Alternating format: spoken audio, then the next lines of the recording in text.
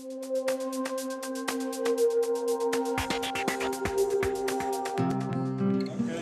let me ask you, we're just asking everyone in the area, is if something happened Okay, I you, said complete believe one. without a doubt you go to heaven? No. Okay, well, let me share this with you. Romans three says all have sinned.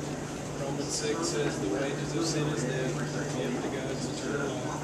Romans ten says everyone that calls on the Lord will be saved. Say this prayer with me. Heavenly Father, Heavenly Father, I give you my life. I want Jesus Christ to. Come into my life, come into my into heart, save me, heal my body. Where there was pain, there is now healing. In Jesus' Amen. That awesome? Where was the pain at before you prayed? In my head, your head?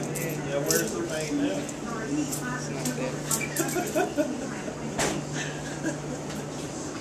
Isn't that awesome?